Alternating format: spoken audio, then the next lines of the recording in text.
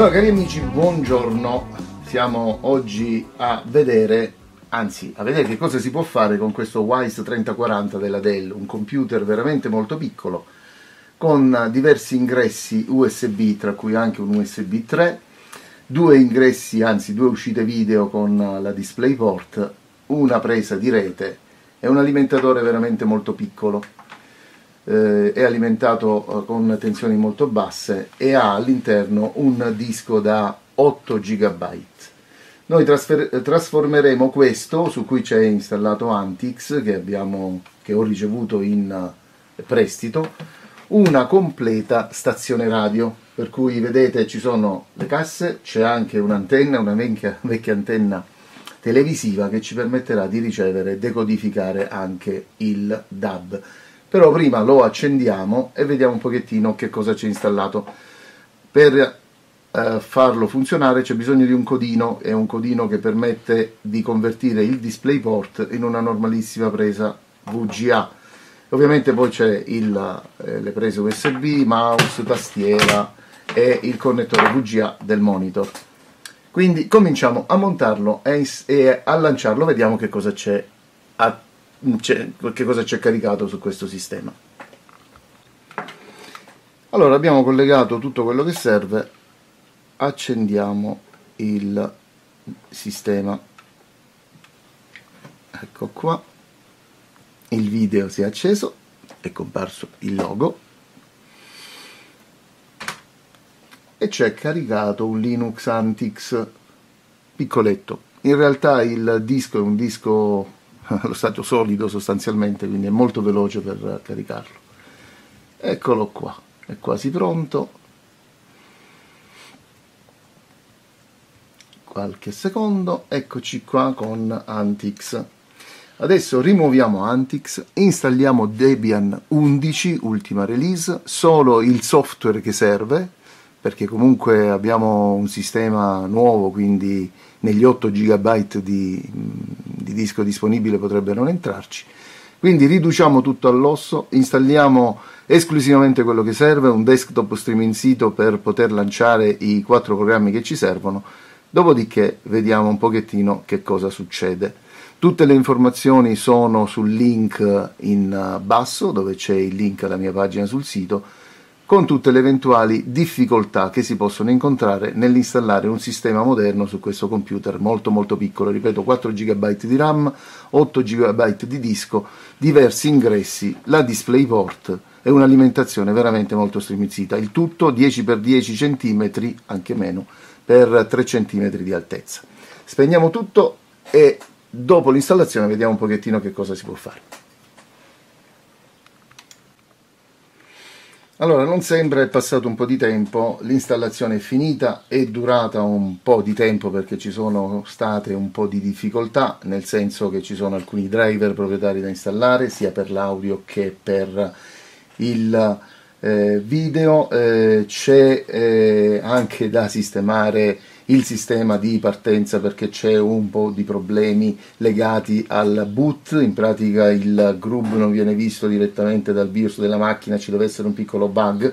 Tutte le informazioni sono sempre sul, come ho detto, sulla pagina del mio sito. Finalmente comunque l'installazione è finita. Il Dell Wise 3040 parte senza difficoltà con il nuovo Debian 11, vediamo un pochettino che cosa succede. Accendiamolo ecco qua il display che è stato visto. Il nuovo Grub con Debian partiamo.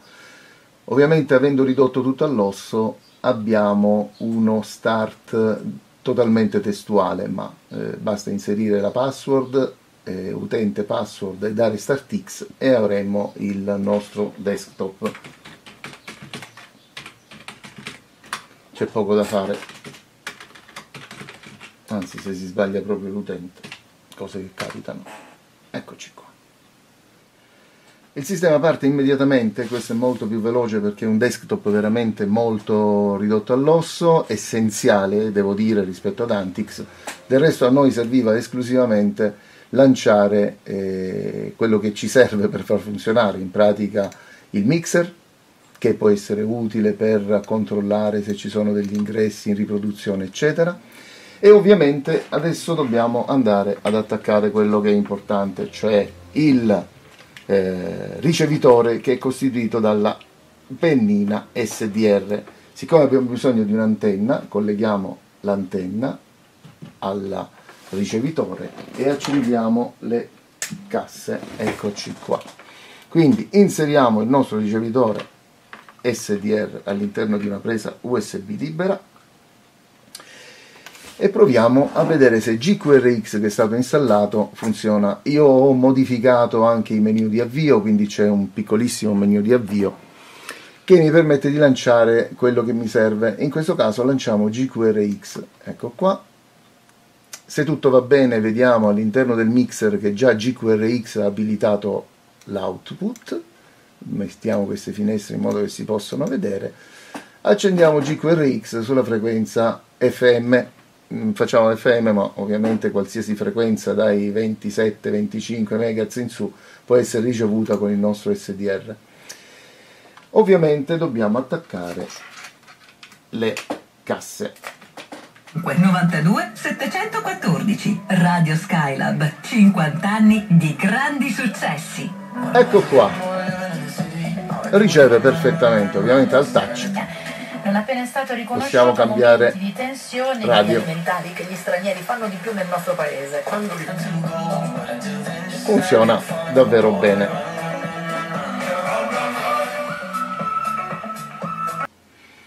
Allora, sostanzialmente poi per essere una vera radio ci vorrebbe una buona manopola della sintonia. Qualche tempo fa ho realizzato un progetto, questo qua, che sfrutta un altro mouse sostanzialmente per poter avere un manopolone della sintonia magari anche demoltiplicato. Quindi lo assegniamo e eccoci qua. Alla fine abbiamo la sintonia della radio. Ve le ricordate le vecchie radio? beh ce l'abbiamo però in digitale. Andiamo spostiamoci. Andiamo sull'altro segnale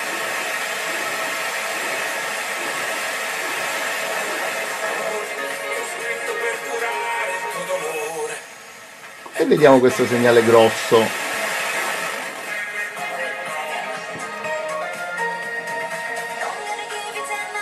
Cento e 100 funziona molto molto bene. Vediamo se funziona adesso il DAB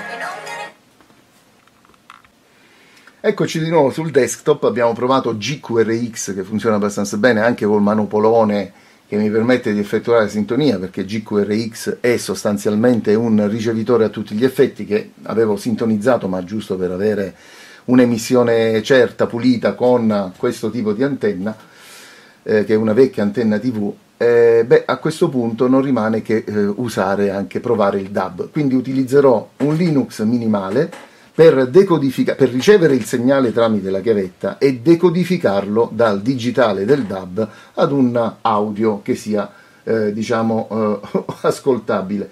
Accendiamo l'antenna, la trasmissione del DAB dovrebbe essere intorno alle stesse frequenze del VHF, del vecchio VHF, quindi questa antenna che è una vecchia antenna per TV dovrebbe andare bene e lanciamo nelle applicazioni radio che io avevo messo sul menu il DAB. Ho installato Well.io, che è questo qua, dove ho già fatto la scansione delle stazioni, ne ho memorizzata qualcuna giusto per ascoltare qualcosa. Vediamo un pochettino che cosa succede andando a scegliere, per esempio, Radio Monte Carlo. Il segnale è buono, cioè abbiamo, lui sta soltanto adesso ricevendo lo stream e passando poi alla decodifica. Ci mette qualche secondo se non ci sono particolari intoppi Certo la situazione di ricezione non è delle migliori, vediamo un po' che cosa succede, altrimenti cambiamo stazione. Questo ha un segnale un pochettino più, eccolo qua. Abbassiamo un po' il volume perché è veramente molto sparato. C'è qualche difficoltà in ricezione, aumentiamo l'amplificazione vediamo un po' eccoci qua.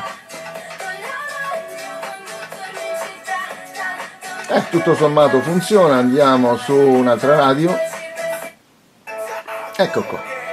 Dopo qualche secondo compare anche il loghetto qui della radio, quella io tutto sommato è molto essenziale ma sostanzialmente funziona abbastanza bene. Andiamo con una stazione lontana, BBC, vediamo un po', c'è anche la BBC. Ah, questo è il segnale un po' più basso audio, bisogna amplificare, però sostanzialmente si sente molto molto bene. Ovviamente posso scegliere anche tra le altre stazioni, io ne avevo memorizzata giusto qualcuna, ma ce ne sono tantissime, ce ne sono tante almeno su questo canale che sto eh, ricevendo.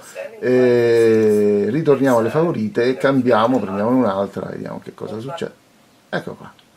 Dovrebbe nel giro di qualche secondo sintonizzarsi, ma sostanzialmente è un computer che sta assolvendo il compito di un ricevitore digitale, una bella radio che si può diciamo realizzare su qualsiasi vecchio computer, in questo caso su un computer veramente molto molto piccolo. Spegniamo il DAB e per questo piccolo esperimento è davvero proprio tutto. Tutte le informazioni sono sulla pagina del mio sito dove trovate come installarlo, come installare Debian 11 su queste piccole macchine con la spiegazione e la soluzione di tutti i problemi che ho incontrato durante l'installazione. Ciao e alla prossima!